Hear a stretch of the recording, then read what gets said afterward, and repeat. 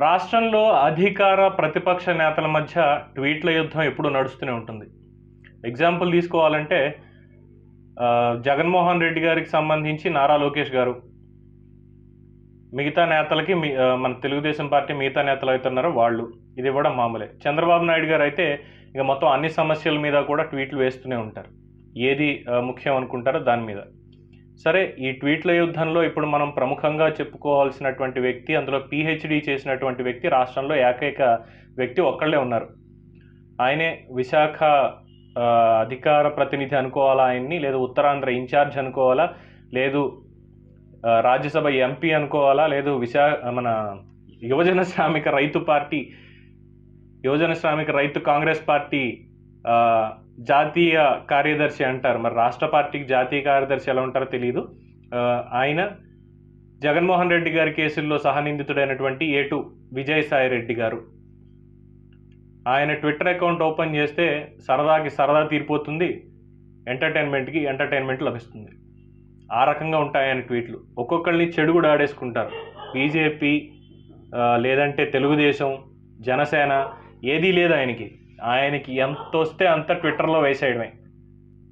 అయితే ముఖ్యంగా ఆయన టార్గెట్ ఎవరు అనేది చూసుకుంటే కనుక ప్రతిపక్షంలో ఉన్నటువంటి తెలుగుదేశం అధినేత చంద్రబాబు నాయుడు గారు అలాగే ఎమ్మెల్సీ నారా లోకేష్ గారు.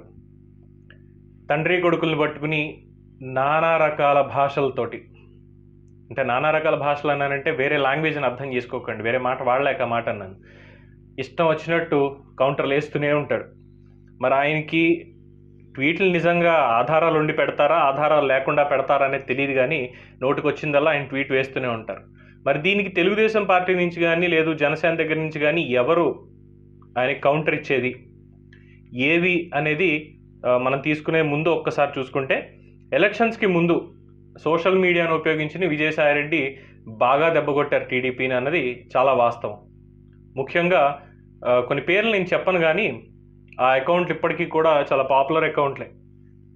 విజయ మన వైఎస్ఆర్సీపీకి సంబంధించి ఎంత కరుడుగట్టిన అభిమానులు అంటే చప్పు జగన్మోహన్ రెడ్డి గారిది ఉన్న ఆయన పదహారు కేసుల్లో జైలు పదహారు నెలలు జైల్లో ఉండొచ్చిన కడిగిన ముత్యం మా జగనన్న అంతకు మించి ఏం చెప్పేది లేదంటారు.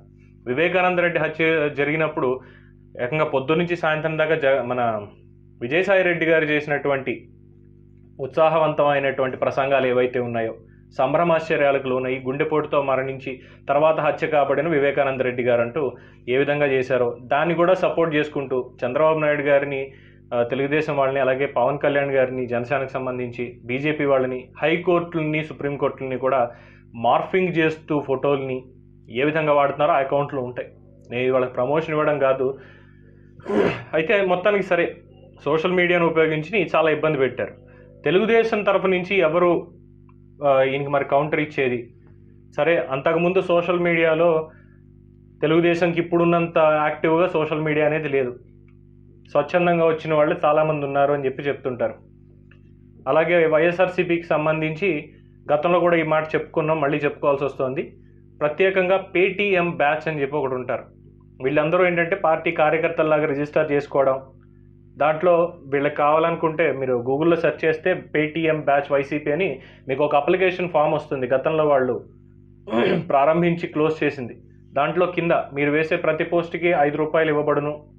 మీ పేటీఎం నెంబర్ ఉన్నచో ఇక్కడ పెట్టండి. పేటీఎం అకౌంట్ డీటెయిల్స్ పెట్టండి. లేదు ఇంకేమైనా ఉంటే వాటికి సంబంధించి పెట్టండి అని చెప్పి దాంట్లో పెట్టారు. ఇది పేటీఎం వాళ్ళని విమర్శించడం కాదండి వాళ్ళ సర్- సర్వీసెస్ ఉపయోగించుకుని వైసీపీ వాళ్ళు ఏం చేశారని చెప్పే ఒక ఎగ్జాంపుల్ మాత్రమే. సో చేసిన దానికి మొత్తానికి తెలుగుదేశానికి సంబంధించి అటువంటి పేటీఎం బ్యాచ్ లైన్ లేవు అన్నది వాస్తవంగానే ఉంది. ఎవరికి వాళ్ళు పార్టీ మీద అభిమానంతో ఇప్పుడు సోషల్ మీడియాలో కౌంటర్ వేస్తున్నారు. సరే మొత్తానికి అయ్యింది. అయిన తర్వాత ఇప్పుడు కౌంటర్లు ఎవరేయాలి? విజయసాయి రెడ్డి గారికి ఇద్దరు దొరికారు. అంటే మిగతా వాళ్ళు వేయట్లేదని కాదు ఎవరి అభిప్రాయాలు వాళ్ళు కాస్త షేర్ చేసుకుంటూనే ఉన్నారు. ఎప్పటికప్పుడు కౌంటర్లు వేస్తూనే ఉన్నారు. కానీ విజయసాయి రెడ్డి ఈక్వల్గా ఆయనకి ఈక్వల్గా ఎవరు కౌంటర్లు వేస్తారు ఎవరు బయట పెడతారు నిజాలు నేను చూస్తే ఇద్దరున్నారు. వాళ్ళే ఎమ్మెల్సీ బుద్ధ వెంకన్న గారు ఒకళ్ళు అలాగే మాజీ మంత్రి అయ్యన్న పాత్రుడు ఆయన. వీళ్ళిద్దరూ కూడా ఒక ఆట ఆడుకుంటున్నారు విజయసాయి రెడ్డి గారిని. ముందు బుద్ధ వెంకన్న గారి దగ్గరికి వద్దాం. సరే ఎమ్మెల్సీ చంద్రబాబు నాయుడు గారికి కరుగట్టిన అభిమాని అయిన తెలుగుదేశం పార్టీకి తీవ్రమైన అభిమాని ఇంకా మాట్లాడితే. అంటే అంత ఎక్కువగా ప్రేమిస్తారు అని ఇందులో తప్పు ఏం లేదు. ఆయన చేసింది శకుని మామ అంటూ మొదలు పెడతారు విజయసాయి రెడ్డి గారిని. విజయసాయి రెడ్డి గారు ఏ ట్వీట్ వేసినా అబద్ధంగా దానికి సంబంధించి ఆధారాలన్నీ తీసుకుని శకుని మామ నువ్వు చేసింది చాలు పదహారు నెలలు వెళ్ళొచ్చింది చాలదా కొత్తగా వెళ్ళాలనుందా? ఎన్నిసార్లు ఇలా మసిపూసి మారేడుకాయ చేస్తావు? అని చెప్పి బుద్ధా వెంకన్న గారు తగులుకుంటారు. అలాగే అయ్యన పాత్రుడు గారు సాయి రెడ్డి అంటూ ఏదో స్నేహితుడిని పిలిచినట్టుగా చక్కగా పిలుస్తూ వేయాల్సిన పంచి గట్టిగానే వేస్తున్నారు ఆయన కూడా. అయితే వీళ్ళిద్దరూ మాత్రం మరి మిగతా వాళ్ళు ఎందుకు సరిగ్గా స్పందించట్లేదు అంటే ఇటీవల కాలంలో చూసాం వైసీపీ ఏ విధంగా రాజకీయాలు చేస్తోంది బెదిరింపు రాజకీయాలు కానీ లేదు భయభ్రాంతులకు గురి చేసే రాజకీయాలు కానీ దానికి నాయకులు కానీ కార్యకర్తలు కానీ సోషల్ మీడియా వాళ్ళు కానీ అతీతులు కాదు అని చెప్పి తేల్చేశారు. ఎందుకంటే GO number two four three zero ఇచ్చి పత్రికా స్వేచ్ఛ హరించడంతో పాటు సోషల్ మీడియాలో కూడా ప్రభుత్వానికి వ్యతిరేకంగా ఎవరినైనా విమర్శిస్తూ కనుక పోస్టులు కానీ ట్వీట్లు కానీ పెడితే వాళ్ళని తీసుకెళ్ళి అరెస్ట్ చేస్తున్నారు. దీనికి సంబంధించి ఇటీవల చూసుకున్నాం. విశాఖ ఎమ్మెల్యే మాజీ మంత్రి గంటా శ్రీనివాసరావు గారి అనుచరుడు నలంద శ్రీనివాస్ గారు నలంద కిషోర్ గారు ఏ విధంగా దానికి ఇబ్బందులు గురయ్యారు అలాగే రెడ్ జోన్లోకి ఆయన్ని తీసుకెళ్ళి కరోనా ఉన్నటువంటి రెడ్ జోన్లోకి తీసుకెళ్ళి ఆయన ఇబ్బంది పెట్టి కరోనాతో ఆయన చివరికి మరణించేలా చేశారు అనేది చూసాం దీని మీద ఇంకా విచారణ పూర్తి కావాలి పూర్తి వివరాలు బయటికి తెలియాలి. అలాగే అనేక మందిని అమరావతికి సంబంధించి కేసులు కావచ్చు సోషల్ మీడియాలో కేసులు పెడుతోంది ప్రభుత్వం. ఈ విధంగా పెడుతుంటే చాలామంది చేతులు ఎత్తేశారు.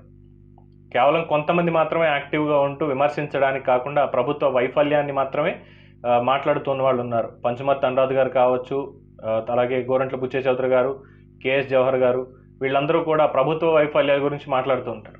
కానీ పర్సనల్గా కౌంటర్ వేయడానికి మాత్రం ఎవరు సాహసించట్లేదు అని చెప్పి చాలామంది అంటున్నారు. ఈ లోటును భర్తీ చేస్తూ సరే అధిష్టానానికి వ్యతిరేకంగా ఎవరన్నా మాట్లాడితే అంటే వాళ్ళ మీద చంద్రబాబు నాయుడు గారి మీద లోకేష్ మీద అనుచితంగా ఎవరైనా మాట్లాడితే మేము చూసుకుంటాం మేము మాట్లాడతాం అని చెప్పి చెప్తున్నారు.